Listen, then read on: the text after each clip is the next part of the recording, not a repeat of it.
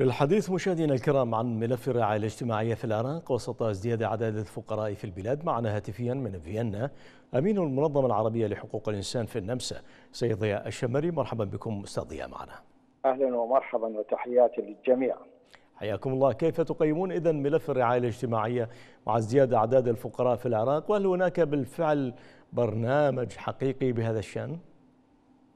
البرنامج الحقيقي حقيقة هي المسؤولين السياسيين المتحكمين في هذا الشأن هو هو يمهم الملف يعني ولكن المشكلة هم هل هم جادين في هذا الموضوع؟ هل هم عندهم جدية بأنه فعلا أكو برنامج اجتماعي لإنقاذ الطبقة الفقيرة الموجودة في المحافظات أو في كل العراق أنا أتوقع هذه الجهات السياسية التي تدعي لا يسمحون لها من تنفيذ برنامجهم السياسي الاجتماعي هذا غير موجود وغير صحيح وخير دليل لأنه من من من هو الذي يسيطر على العراق بالوقت الحاضر؟ هل توجد دولة أجنبية تسيطر على العراق وتمنع السياسيين العراقيين من إبداء هذا البرنامج الاجتماعي لإنقاذ هذه الشريحة الكبيرة من المجتمع العراقي إلا وإنه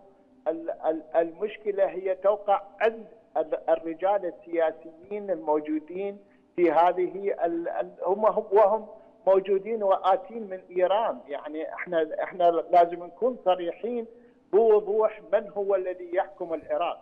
الذي يحكم العراق سياسيا واقتصاديا هي إيران بالوقت الحاضر. وهم السياسيين الايراني وهم السياسيين التابعين لدولة إيران أو دولة ولاية الفقيه لأن هم لا يمثلون الشعب الإيراني حقيقة حتى الملالي حكومة الملالي لا تمثل الشعب الإيراني.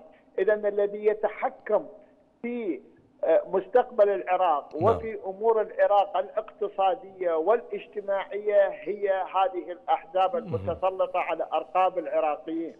يعني السيد هادي العامري يقول يمنعونا من من أن نأتي بإصلاحات في المجتمع العراقي، من الذي يمنعك هنا السؤال أستاذ ضياء الذي يساله المواطن أنا أنا أتوقع من يمنعهم الإيرانيين من يمنعه هو نفس الشخص نعم. الذي يتكلم هذا اللي كان يقاتل مع الإيرانيين ضد ضد أبناء آآ آآ العراق هو هو الذي هو الذي يتحمل المسؤولية كلهم الموجودين الذين يحكمون العراق في الوقت الحاضر هم نعم. كانوا تابعين إلى إلى ولاية الفقيه نعم. وهو يعني حقيقة عدة تصريحات كثيرة ب ب بعام 1980 في في الثمانينات كانت عدة تصريحات خطيرة في هذا الموضوع، اذا الموضوع لم يتبدل لحد هذه اللحظة ولا طيب. عندهم نية لإنقاذ هذه الشريحة من المجتمع العراقي.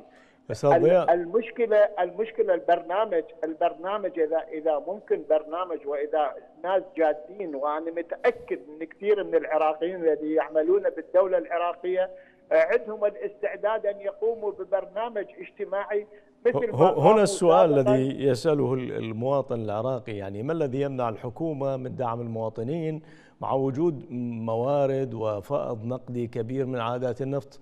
أو حتى يعني مثلا افتتاح مشاريع تشغيلية لهؤلاء المواطنين لتوفير فرص عمل لهم.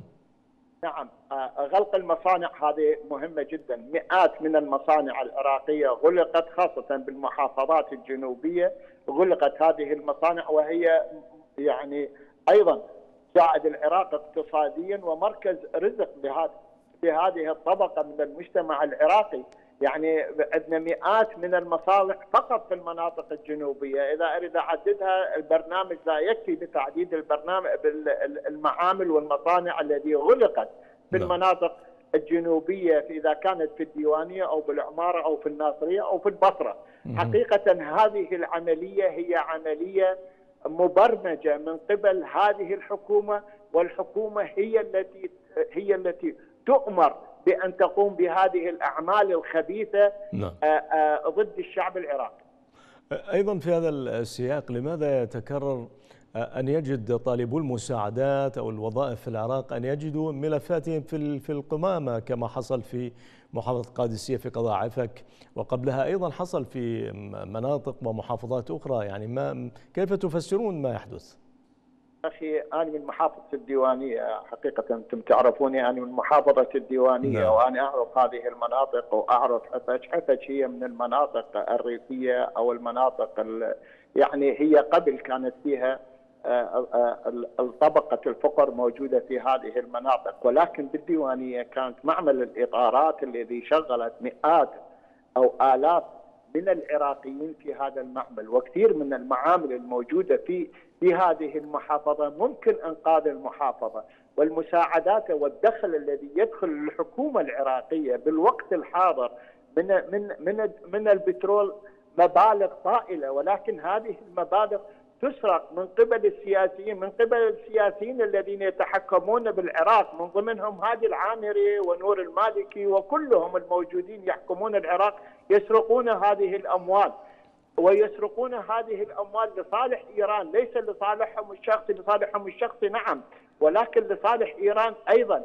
يعني هذه العملية هي عملية يا أخي مبرمجة. نحن نعترف ونقول المنظمات كل الحقوقية المنظمات نقول لا يوجد أمر سياسي في العراق وإنما الأمر السياسي الموجود هو في إيران في ولاية الفقيه وولاية الفقيه هي التي تأمر السياسيين العراقيين ماذا يعملوا في العراق لأنه عندهم عداء يا أخي طيب. هذا العداء ولاية الفقيه فيها عداء مع نعم. مع الشعب العراقي نعم واضح. ومع شعبهم أيضا بنفس الشكل لو لو إحنا نجي يعني نتكلم إذا إذا نتكلم من ناحية طائفية موجودين العرب الذي موجودين في في في هذه المناطق أو في عربستان هم أيضا شيعة نعم. يعني هذه المناطق أيضا مدمرة في إيران يعني هو البرنامج ليست برنامج نعم لهذا السبب وإنما برنامج لتدمير العراق ولإضعاف العراق ومباركة من قبل